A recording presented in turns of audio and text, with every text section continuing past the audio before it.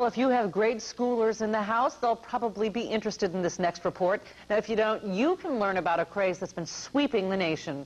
NBC 12 reporter Jim Babb marched into the marketing breach today to bring us this story of Pokemon. I'll trade you this uh, holographic for a Japanese holographic. You've got hundreds of these cards. I got, yeah, some, yeah, and I've got a lot more at home. So tell me, why do you like Pokemon? I don't know. You're not sure why you like it, but you do, right? yeah. Like so many other fads, it got started with a kids' TV show. And now Pokemon is a marketing phenomenon.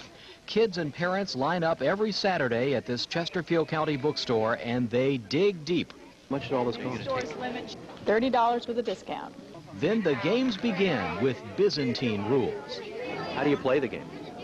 I can't explain it, it's too long. I'll switch. I'll put out my Dragonair, even though it has 60 damage on it. Oh boy. And now it has 3 energy on it. Slam attack. So if you had the time to tell me, I wouldn't understand it. No.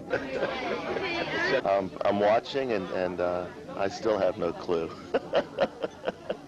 And think about this. This kind of thing is happening in bookstores and toy stores all around the country. If you hadn't known it before, know it now. Pokemon is big. The biggest trend in kids' toy history, it's multi, multi-billion dollars. Money. Big time money. You wish you'd invested. Yeah, that's true. Jolteon. Jolteon. What's special about Jolteon? He's holographic. In Chesterfield County, I'm Jim Babb, NBC 12. And those little cards aren't cheap. Some merchants charge about three bucks for a booster pack of